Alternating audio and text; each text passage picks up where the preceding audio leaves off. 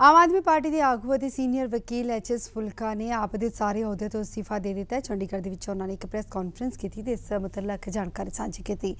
ਇਸ ਮੌਕੇ ਤੇ ਉਹਨਾਂ ਇੱਕ ਪੱਤਰ ਵੀ ਜਾਰੀ ਕੀਤਾ ਜਿਸ ਦੇ ਵਿੱਚ ਉਹਨਾਂ ਨੇ ਆਪਣੇ ਅਸਤੀਫੇ ਦੀ ਸਾਰੀ ਜਾਣਕਾਰੀ ਦਿੱਤੀ ਹੈ।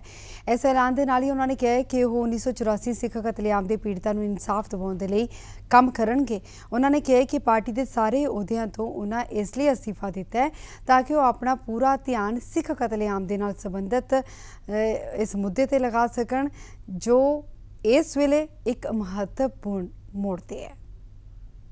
ये केसेस जो हैं, वो मेरे बिना नहीं चल सकते।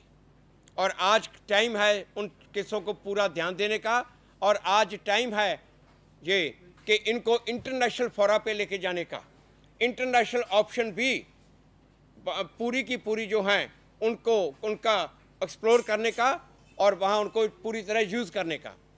पॉलिटिक्स में और पार्टी में रह के मैं ये कुछ नहीं कर सकता।